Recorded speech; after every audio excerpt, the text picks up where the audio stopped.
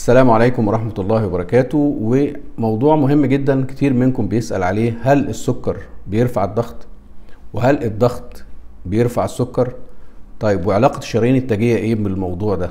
ده حلقة مهمة جدا وحبيت إن أنا أكلمكم عنها النهاردة وهتكون مدتها بسيطة إن شاء الله عشان نفهم الموضوع. السكر لا بيرفع الضغط ولا الضغط بيرفع السكر. لكن لما بيكون في مريض عنده سكر بيحصل تغييرات فسيولوجية عنده بتؤدي إلى ارتفاع الضغط. ولما مريض يبقى عنده مشكلة في الضغط ممكن تؤدي تغييرات في جسمه إن هو يحصل له ارتفاع في السكر. ده قولا واحدا. فأنت سعادتك لما بيكون عندك ارتفاع في السكر يعني ارتفاع في نسبة الإنسولين في الدم يعني ارتفاع في نسبة السكر في الدم يعني التهاب في الشرايين يعني ارتفاع وضيق في الشرايين ومشاكل في الشرايين التاجية ويؤدي إلى ارتفاع الضغط. وطبعا مع مصاحبة السكر للسمنة والبدانة للنوع الثاني ده بيؤدي إلى ارتفاع الضغط. طيب والضغط نفس الكلام لما يكون مريض عنده سمنة وعنده ارتفاع في الضغط والأدوية اللي بياخدها يؤدي إلى مشاكل في السكر. طيب هل واحد زائد واحد يساوي اتنين؟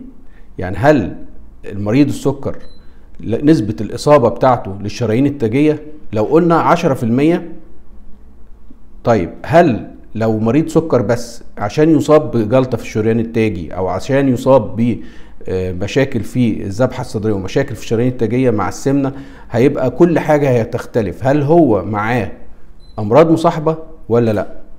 فالسؤال دلوقتي اللي لازم نفهمه كويس جدا لو هو أصيب بالسكر ومعاه ضغط السكر لوحده 10% والضغط 10% يبقى نسبة الإصابة بالشرايين التاجية بتكون عالية 30% يبقى واحد زائد واحد مش يساوي اتنين.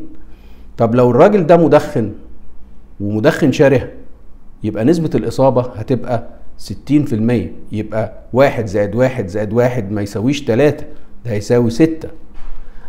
لكن لو معاه سمنة وسكره مش مظبوط خالص وضغطه مش مظبوط وعنده ارتفاع في الكوليسترول في الدم وعنده تدخين وعنده مشاكل في الغدة وعنده مشاكل في الاسترس وما بياخدش علاج إصابته بجلطات القلب والشرايين التاجية بتبقى عالية جدا.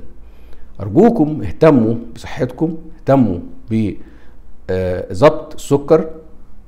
ابدأوا من فترة ما قبل السكر ما تستنوش لغاية ما تصاب بالسكر وادخلوا دايما واقروا وتثقفوا لأن مريض السكر لازم يعرف إزاي المرض حصل وإزاي يقدر يعالج المرض صح.